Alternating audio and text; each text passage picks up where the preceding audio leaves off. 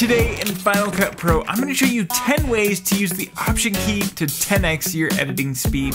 You can use the Option key to replace a clip on your timeline. From your browser, go ahead and locate whatever clip you want to replace down here on the timeline, and then you can just push Option R and that will replace it with the exact amount of time it takes to fill in that clip. If the clip happens to be shorter than whatever you're replacing, I'll push Option R. It is going to let you know that there is not enough media in the source clip to fill the range in the timeline, so you can go ahead and push continue if you so desire. This next tip was shown to me by my friend Dylan John. I'll have a link to his channel down below. If we push T, we will be given the trim tool, which normally allows us to just simply slide and edit by clicking and dragging on it.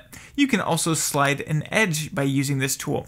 However, did you know that if you push the Option key and click and drag, this will allow you to slide the entire clip within the timeline. It saves you so much time from grabbing an edge, extending it, then shortening it down over here. It's just one smooth edit, saving you that much more time. When you have skimming enabled in Final Cut Pro, you'll notice that I have this red playhead over my mouse wherever I am on the timeline. When I push play, the playhead will jump back over to wherever my mouse was and then continue playing throughout my scene. However, if I want to start playback from wherever the playhead is rather than wherever my mouse is, I can push Option and space and that will start playback from the playhead. This next tip was shown on Jenn Jager's amazing YouTube channel. I'll have a link to her as well down below. When you are going to apply an effect, normally you can just mouse over the effects to get a good idea of what they will look like on your scene. However, if you want to change the amount that this effect is changing your clip, you can push Option while mousing over, and you'll see how that adjusts the value on your clip. You can then double click and you'll notice that up here in the inspector, it has applied the effect at the same value we were originally previewing it at. And speaking of changing values, you can actually select a value here in your inspector push option and then up and down on your arrow keys and that will allow you to change it in increments of 1. However, if you want to change it in increments of 10, say on your position parameter, you can push option shift and up and down and that will then change it in values of 10. Oftentimes I need to copy and paste a clip so I'll push command C to copy it then I'll push Command V. But you'll notice that has inserted the clip on my primary timeline, which means we just created a cut in the middle of this single shot. To get around that, you can push Option V and that will paste it as a connected clip, which means it will be above your primary storyline. And speaking of copying and pasting, sometimes you don't always want to select a clip, Command C, Command V to paste it. Maybe you just want to quickly duplicate it with one button. You could push Option, click and drag, and that will immediately duplicate the clip. A really fast and powerful way to edit in Final Cut Pro is by using Option left bracket or Option right bracket to trim the ends up to the playhead. Again, I'll select this edit point, Option left bracket, and you can see how that edit point has moved up to the playhead.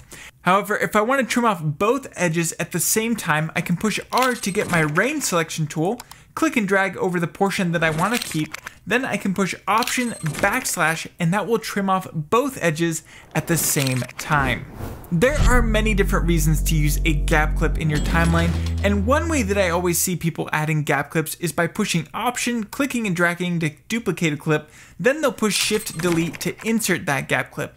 But there is a much faster way to do it. All you need to do is mouse over wherever you want to insert that gap clip, then push Option and W, and that will automatically insert a gap clip for you, saving you that many more steps.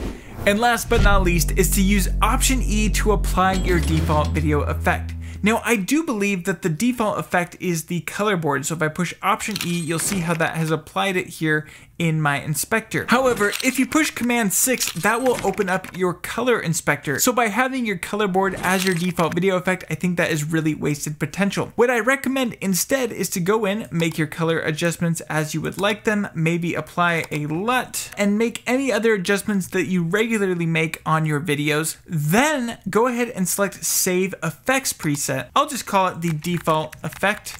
Then we can throw it into whatever category we like and push save. From there, all I need to do is look up that effect, default effect, right click, and then select Make Default Video Effect. So now, anytime I'm making a project in Final Cut Pro, I can go ahead and just select whatever clip I need, and I'll push Option E, and that will automatically apply both the color wheels and the custom LUT, saving me that much more time in editing. If this video was helpful to you in any way, consider pressing that like button, consider subscribing, and you may want to check out this video where I show you 10 powerful tips for Final Cut Pro. With that being said, thank you so much for watching, and I cannot wait to see you in the next one.